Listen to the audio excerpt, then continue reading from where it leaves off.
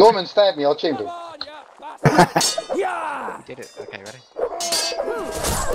How did he not? We actually like did a free run and